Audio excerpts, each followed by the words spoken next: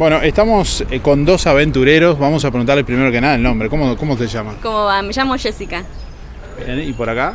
Hola, buenos días. eh, Nicolás Rodríguez. Bueno, cuéntenme un poquito qué es lo que están haciendo. Están haciendo un viaje, eh, en este caso, mm, de vida, en el auto. Cuéntenme un poquito de qué se trata la travesía. Sí, estamos eh, viajando hace casi dos años, un año y ocho meses.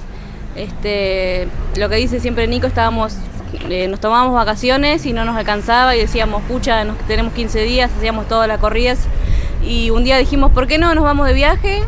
Eh, no, no sé, surgió así, teníamos este auto viejo, eh, queríamos irnos en él y nada, así surgió y bueno, ya va a ser dos años de esto. ¿y ¿Con qué se han encontrado? ¿En el- ¿Qué lugares han visitado? Y visitamos cuando salimos de Buenos Aires, fuimos hasta San Luis, que es centro del país, en Argentina. Hicimos Córdoba, Mendoza, ahí agarramos la ruta 40 hasta Ushuaia. Y después, bueno, volvimos por la misma ruta 40 y en Esquel surgió un problema familiar, tuvimos que cruzar a Buenos Aires en dos o tres días.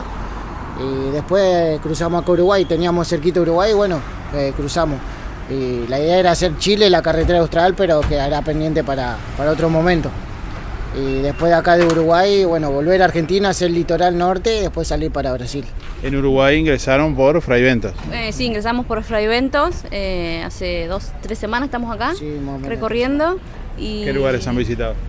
En Fray Ventos que hemos recorrido. eh, En Frevente estuvimos en el Anglo, estuvimos en Las Cañas, estuvimos en Colonia Sacramento, Santa Ana. eh, bueno, ahora acá Juan Lacasi, vamos para eh, Colonia Valdense y Nueva Albesia.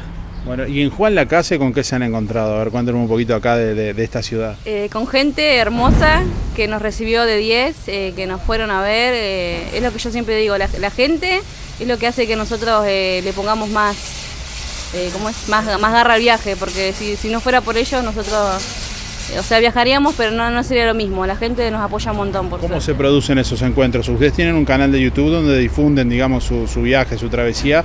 A través de ahí anuncian dónde van a estar, se conectan con la gente y se producen los encuentros. Totalmente, sí, tenemos un canal de YouTube que es Aventura de Tres por América y ahí subimos eh, la vida diaria, eh, subimos paisajes porque a la gente le, le encanta ver paisajes, pero mostramos más la realidad de- del viaje, mm, eh, no sé cómo Cotidiana, decirlo, la eh, vida la vida cotidiana. La- A la gente le gusta ver cómo vos desarmás la cama, cómo te levantás, cómo vas a trabajar, porque no todos muestran eso.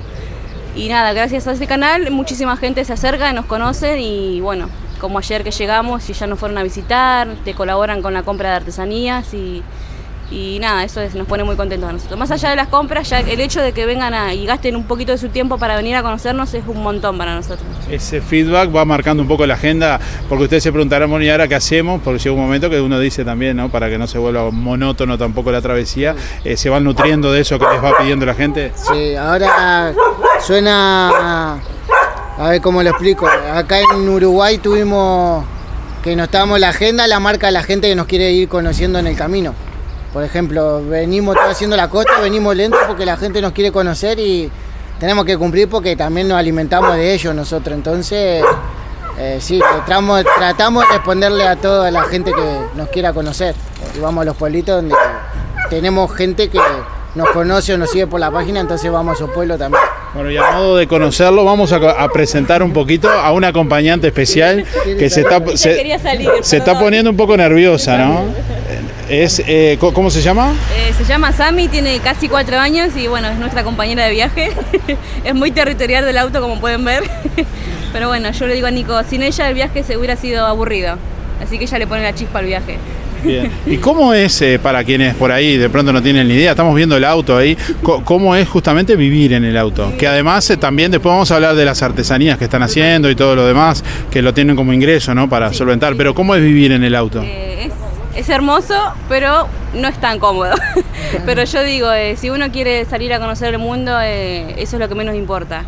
Este, es un auto del año 83 y bueno, dormimos adentro, armamos cama adentro, cocinamos adentro, eh, a veces nos bañamos adentro, hacemos todo ahí porque bueno, es nuestra casa. Es chiquito, pero tiene muchas cosas, tiene, tiene espacio. tiene Podríamos espacio. haber conseguido o comprado una camioneta, algo más cómodo para el viaje, pero esto es una aventura en el autito y, la, y llama la atención, la gente se acerca por el auto, o fue el primer auto más que nada en Argentina, el primer auto que tuvo, no sé, el abuelo, con el primer auto que aprendieron a manejar, entonces eh, Y como que tiene- llama la atención. Sí, tiene su mística, sí. Vemos que tienen un panel solar, también tienen ciertas cuestiones ahí, una vaca bastante grande. Sí, sí, bueno, hicimos el portaequipaje para llevar todo lo que fuera necesario afuera del auto, pero nos dimos cuenta que al ser grande uno carga, carga y la suspensión sufre.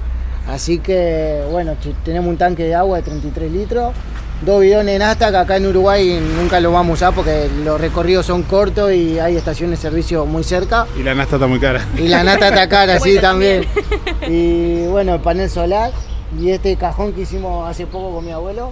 eh, llevamos todo acá dentro, artesanía, silla, mesa, Mercadería, mercadería, sí. Y después, bueno, un toldo tenemos también, un reflector para alumbrar el puestito cuando vendemos de noche. Y sí, se alimenta y el panel, bueno, tiene conversora luz 220.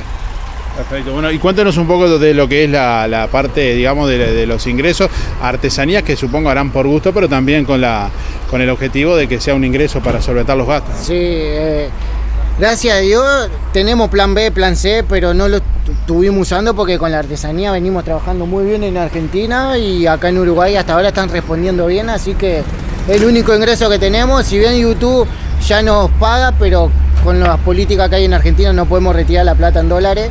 Entonces está ahí como ahorro para algún futuro que cambie el gobierno, la economía o la política, pero hoy en día solo artesanía. Después tenemos plan B, ya peluquera, yo tengo la soldadora, tengo caladora también, si hay que hacer algún trabajito, alguna changuita.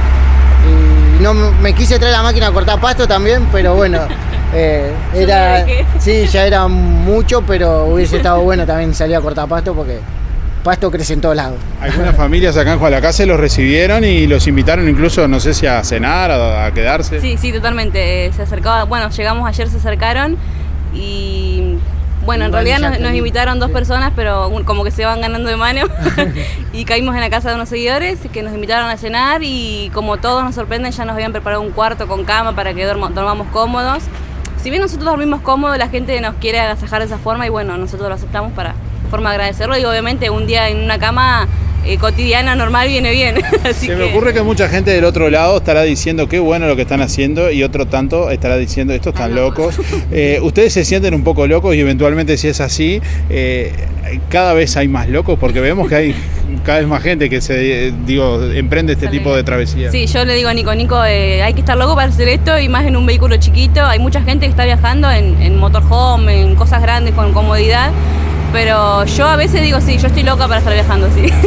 y sí, como decís vos, eh, no, sé- ac- no sé acá qué tal será, pero en Argentina es, es impresionante y te asombra la cantidad de viajeros nuevos. Tenemos algunos enviados la casinos por recorriendo el mundo Sí, ¿ah, sí? y otros y otros por salir, así que sí. Ah, bueno, bueno, pero bueno, yo te digo personalmente estuvimos más en Argentina, pero muchísima gente. En la casa que nos reciben anoche tienen un motorhome armado y también quieren salir, así que se va contagiando esa chispa de, de salir a, a vivir la aventura y no estar eh, pendiente del trabajo y de, de pagar las, las deudas de la casa y El Bueno, consumismo, salir de esa burbuja del consumismo y, y de vivir siempre al 100.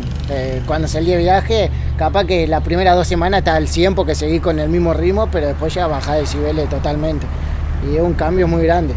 Tenés que estar, no sé si loco, pero tenés que estar decidido en tomar la decisión, que es la parte más difícil. Y después, una vez tomaste la dec- decisión, no hay vuelta atrás. Eso asegurado por casi todos los viajeros que nos cruzamos, no hay vuelta atrás. Bueno, gracias por estos minutos. No sé si quieren dejar algún algo más que quieran agregar. No, simplemente que el que tenga sueño, sea viajar o, poner un negocio, o sea lo que sea, el sueño que sea, eh, que lo cumpla. Porque los años pasan y después te arrepentís de no haber hecho ciertas cosas. Entonces, cualquier sueño o deseo que tengan, eh, cúmplanlo. Luchen por esos sueños. Tal cual. Este, nada, yo agradecer a la gente que está- siempre al pie del cañón con nosotros, eh, tanto con Sammy también. Y nada, que lo que dice Nico, que luchen por sus sueños y que esto es una aventura hermosa. No es fácil porque no son vacaciones, pero si se tiene ganas eh, se puede lograr alguno que se proponga. ¿Por por qué el pitufín, el nombre del auto? El pitufín, mira, antes el auto era eh, color verde aceituna y se llamaba la aceituna. Nico le encantaba este color, lo pintamos así y dijimos azul. Y se parece al color de los pitufines, dijimos. Así que se va a llamar el pitufín. Y a nosotros a veces nos llaman los, los pitufines, nos dicen. Así que ya, ya quedó ahí. Está bien. Sí, sí. Bueno, muchas gracias. No, muchísimas gracias a vos. Muchas gracias, a vos por el tiempo.